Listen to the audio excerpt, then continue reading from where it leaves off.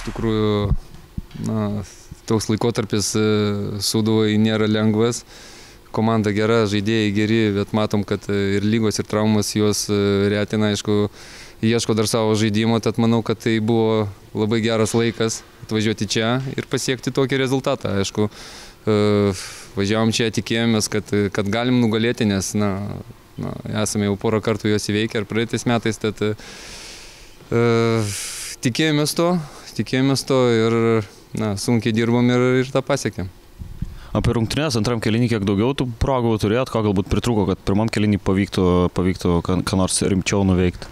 Na, iš tikrųjų, toks pirmas kelinys, e, sakyčiau, suduvo kėlė daug standartinių situacijų. E, mes turėjome problemų kamulio žaidime, suduvo gana, gana gerai ir kompaktiškai perdinginėjo visas, visas zonas, o mes skrydome tokiuose momentuose, e, kur, kur neturėtume klysti. Aišku, buvo tų skersų, bet skersi irgi visi kažkur tai dangų skrydo.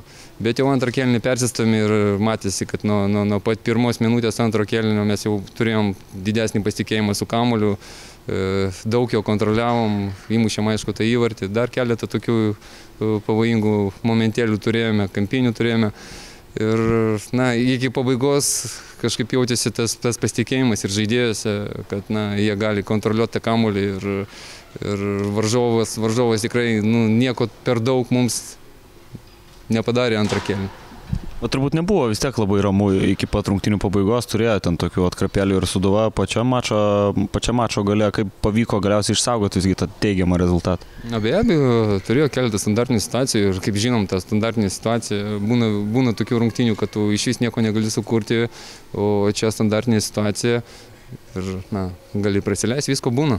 Aš nesakau, kad Suduva neturėjo momentų, turėjo savo momentų.